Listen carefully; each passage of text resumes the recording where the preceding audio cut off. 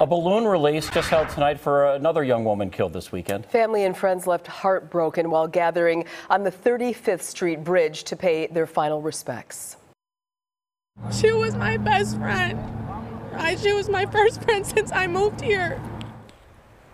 This was the scene last night on the 35th Street Bridge near I 94. Police say a 21 year old woman was killed in a crash. So far, her identity has not been confirmed. MPD is looking into exactly what led up to the crash. One